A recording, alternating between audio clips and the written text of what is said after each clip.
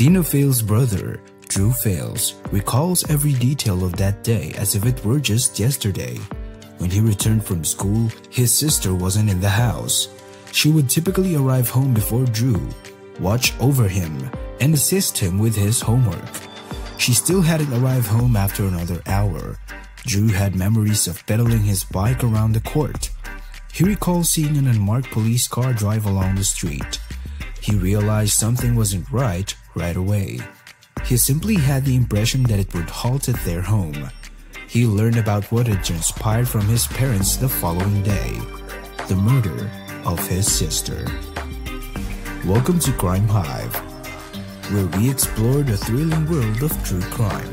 From serial killers to unsolved mysteries, we delve into the investigations and forensic techniques that help solve them. Join us in the Hive for gripping stories and insights into the dark side of human behavior. According to Police Lieutenant Jim Knox, a truck driver was on the freeway through Pleasanton when he noticed what he believed to be a person in danger or maybe injured. He begins to descend the drainage culvert. He notices blood and observes that a body is lying in the creek. Police Chief Bill Eastman, who is now retired, stated that he's always dreaded receiving such a notification call. Someone murdered a young girl. An extremely chilly crime scene was present. There was no evidence of a weapon, prints, or footprints. Under a tree above the body, officers spotted a purse hanging there. They discovered a report card with Tina Faelz' name on it. Foothill High School freshman received 44 stab wounds. The coroner also noted that there were no scratches or indentations on the body, suggesting that the knife did not have a hilt or guard. The authorities believe that at some point during the stabbing of Tina, the suspect's hand would slip off the handle due to the lack of guard over the blade and actually slash themselves. They had to rely on talking to people because there wasn't much information available. Investigators visit Foothill High School and begin questioning kids in order to find leads to pursue. They learn that Tina experienced bullying at school. She previously took the bus home, but she was being bullied by several other girls on the bus. They threatened to assault her.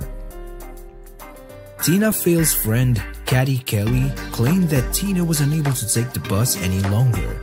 She was forced to cross the culvert. It resembled a marsh. It was eerie. The tunnel itself gave the impression of being a portal to another world. Once you reached halfway, everything was completely dark. The girl who teased Tina threw rocks at her on the day that she was killed. Hey, let's tie Tina to a tree and stab her, one of them had said that day. According to Lieutenant Knox, these girls were questioned.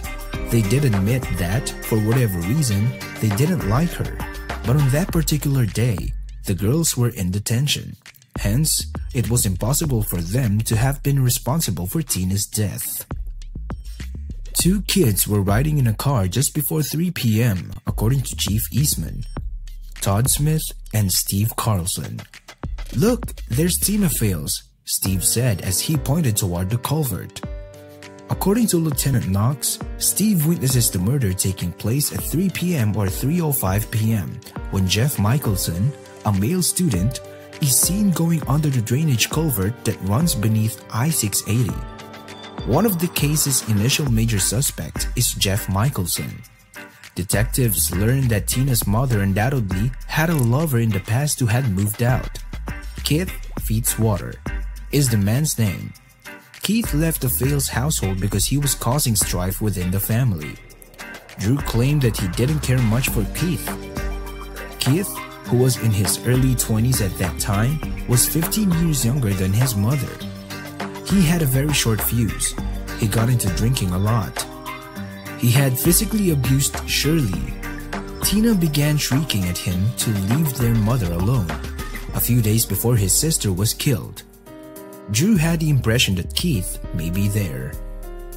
When investigators investigate Jeff Michelson, they learn that he was infamous for bullying and picking on younger children. Eyewitnesses claim that a little boy called Steve Carlson was taken by Jeff and dumped into a dumpster on the day that Tina was murdered. And after being imprisoned inside for about 10 minutes, a teacher arrived and let the boy out. Later, when Tina was being murdered, Steve Carlson spots Jeff in the general area of the crime scene. Jeff occasionally wore a sheath with a hunting style knife on his belt. When the investigators arrived to question him, they saw that he had a cut on his index finger. Police proceeded to his home with a search warrant. Two hunting knives were found. The crime lab received the hunting knives. They were checked for blood residue. They were also discovered to be clean. Keith Fitzwater is still being investigated. The family claims that he was verbally and physically violent. He was only ever pleasant the night Tina passed away. He was so incredibly kind, it nearly makes you wonder. After Tina had been fatally stabbed, Keith asked his supervisor if he might hitch a ride to Shirley's residence. The detectives talked to Keith's supervisor. The only thing they learned is that Keith was wearing a knife at that time, which he took out and asked his supervisor to keep. Why do you want me to retain it? he asked. It was definitely odd behavior for Keith to say, I don't want to go in the house with a knife. You had to believe that something was wrong. The knife was taken by the police and sent for examination. It returned with no sign of any blood. Drew claimed he didn't really have somebody to take the place of his sister's death. His mother tried her best, but she began to break down mentally. She couldn't stop being shocked and desperately wanted to know what had happened. As the case grew older, she gradually began losing her mental capacity. When she experienced these breakdowns, she would not clean the dishes for weeks even though she would always maintain an immaculate home. 24 years after Tina's murder, February 2008.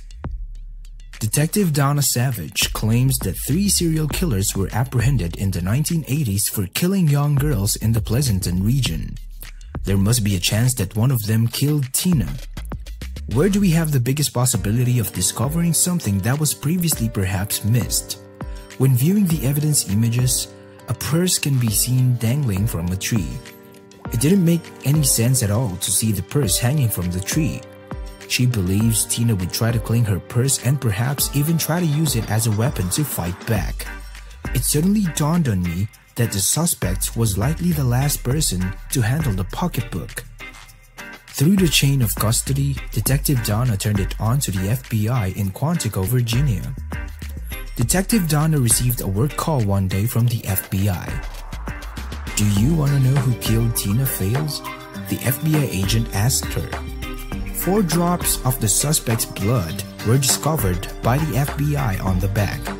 This supported the long-held belief that the murderer may have cut himself when his hand slipped down the blade. She was unprepared for what she found. Steve Carlson, the FBI agent claims. The pupil was imprisoned within the trash can. Steve was the first witness that police spoke with after Tina's body was discovered. Steve informed them that on that specific day, he spotted a male student by the name of Jeff Michelson in the general area of the crime scene. He was attempting to direct the investigation toward a different suspect. Tina was 14 and Steve was 16. This simply couldn't comprehend how a youngster could kill another kid. You really don't want to believe it since it is so horrible. Steve was left home alone by his parents. Steve went to the school and extended an invitation to his home for drinking and drug use to other pupils. Nobody wished to travel. Later on, several youngsters lock him in the trash. When Steve escapes, he is coated in food and trash and is enraged. Steve then went back to his home, got in his mother's car, and began driving about the area. Steve reports that Tina cast him a distasteful glance like, why are you driving so quickly through the neighborhood? They think Steve became upset. He then made the decision to go down into the stream after Tina. A clear view of the culvert where Tina was killed was available from Steve's home. Steve Carlson is reportedly seen on his home's roof after the body is found, watching as police launch their investigation. Steve Carlson was convicted in 2014. His current sentence for the second-degree murder of Tina Faelz is 15 years to life. Justice did not arrive quickly enough for Tina's mother though. Tina's mother suffered a severe heart attack on the day before trial. They believed that she simply couldn't endure the trial and passed away from a broken heart.